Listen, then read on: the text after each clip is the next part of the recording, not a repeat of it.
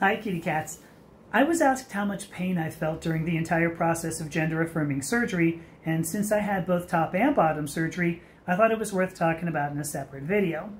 Now, throughout the past two weeks of recovery, I have never felt more than about a 2 out of 10 in terms of pain. Now, admittedly, my relationship with pain has never been exactly normal, and my results are certainly only mine.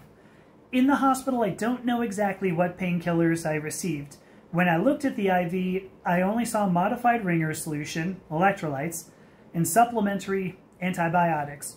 There were likely painkillers I didn't recognize during that time. At the very least, I'm not that kind of doctor.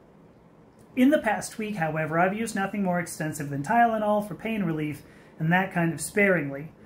Now, obviously, the procedures I got were less invasive than they could have been. My bottom surgery was minimal depth, and my top surgery was subfascial, so above the muscle.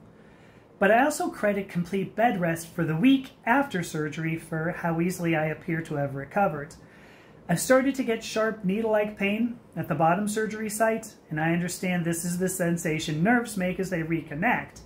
So while I can't say that all the new parts have come back online, it appears they are at least booting and I think after some device driver checks and updates, I expect them to become fully armed and operational. Probably still going to have to log in and check my files are intact, but things are looking promising. This is a hugely exciting time for me in so many ways.